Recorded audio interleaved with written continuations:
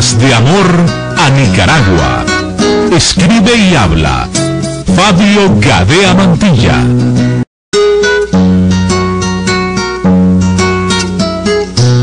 Querida Nicaragua, no tengan miedo, no tengan miedo. Era una de las expresiones casi rutinarias del inolvidable Papa Juan Pablo II, como que le tocó vivir en un mundo donde la amenaza estaba por todas partes.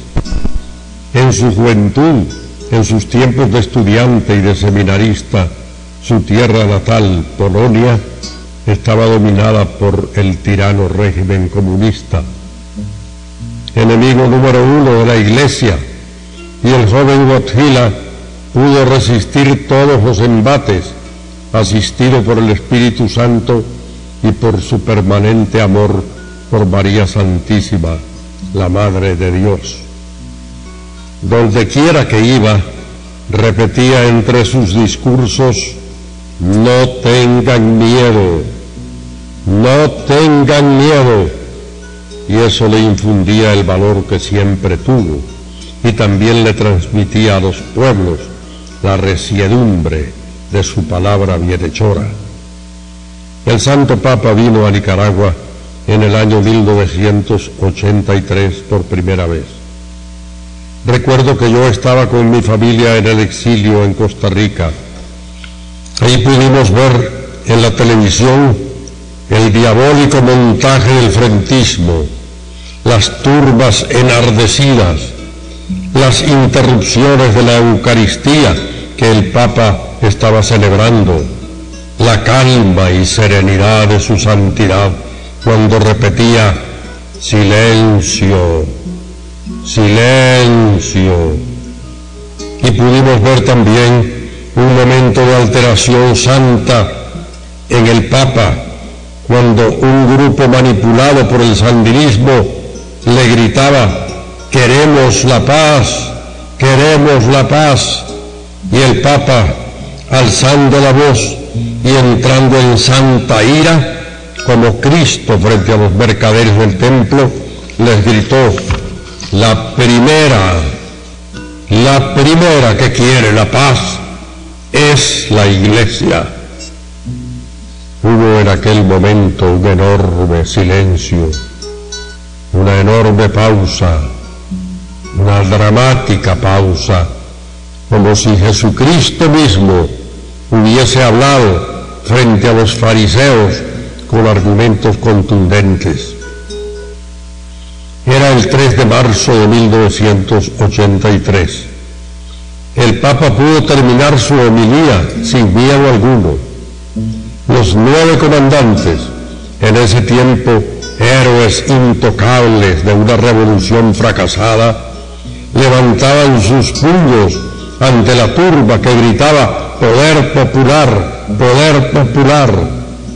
El Papa terminó la Eucaristía y voló hacia San José, Costa Rica, lugar donde se hospedó en su gira por Centroamérica, siendo recibido como un héroe por el pueblo costarricense que llenó el trayecto entre el aeropuerto y la Nunciatura Apostólica. Todos fuimos a esperarlo y a desagraviarlo por las ofensas recibidas. Han pasado 27 años y al parecer algunos frontistas no aprendieron nunca la lección. Siguen manejando la política con la prepotencia de aquellos días. Antes lo hicieron con prepotencia, abuso, barbarie, irresponsabilidad, pierdismo, usando los métodos represivos de cárcel, tortura y muerte. Habían llegado al poder por la fuerza de las armas y se creían con el derecho de hacer todo lo que quisieran hacer. Hoy llegaron al poder por culpa del divisionismo de la oposición. Ni siquiera llegaron por la vía de la urna electoral, porque participaron en el 96 y en el 91 y nunca pudieron ganar en la urna. Su número de votos es minoritario. ahora llegaron por el error garrafal de los liberales divididos y se creen dueños de la nación, los frentistas. Ahora quieren quedarse para siempre en el poder imitando a don Chávez, el dictador venezolano. Y para conseguir esto están siendo capaces de todo.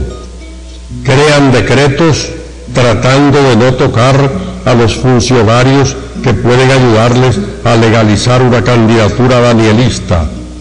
Buscan viejas constituciones para encontrar artículos que justifiquen la presencia de esos funcionarios que pueden abrirle camino a don Daniel para ser candidato.